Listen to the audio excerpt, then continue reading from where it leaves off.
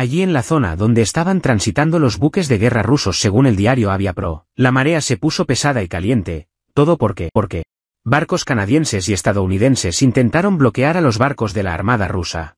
En las últimas semanas, la atención del mundo se ha centrado en una escalada inesperada en las fronteras marítimas de Estados Unidos. Los buques de guerra rusos que se dirigían a Cuba para realizar ejercicios militares conjuntos se encontraron muy cerca de la costa de Florida.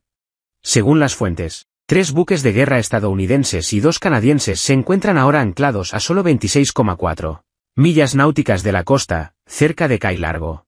Entre los barcos estadounidenses que participan en el enfrentamiento se encuentran unidades tan poderosas como los destructores USS Donald Cook, DDG-75, y USS Trustun, DDG-103, así como el cúter de seguridad costera Keystone, WMSL 758.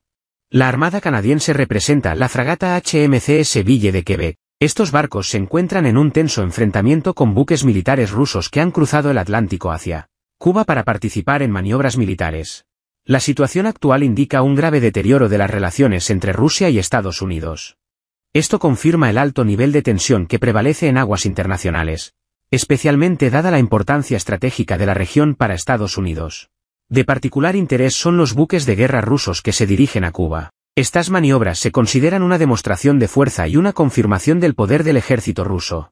Cuba, que tiene vínculos históricos de larga data con Rusia, se está convirtiendo una vez más en un trampolín para operaciones estratégicas. Los ejercicios conjuntos están diseñados para fortalecer la cooperación técnico-militar entre los dos países y aumentar la preparación para el combate. Estos ejercicios incluyen diversos elementos, desde maniobras con fuego real hasta interacciones de entrenamiento en condiciones de combate reales. Tales eventos no solo aumentan la preparación para el combate, sino que también sirven como una poderosa señal para los adversarios potenciales. El enfrentamiento frente a la costa de Florida tiene importantes implicaciones geopolíticas.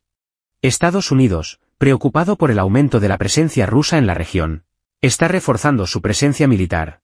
La aparición de barcos estadounidenses y canadienses demuestra la determinación de la alianza de proteger sus intereses e impedir que Rusia aumente su influencia en el hemisferio occidental. Estos acontecimientos resaltan la importancia del equilibrio estratégico en la región.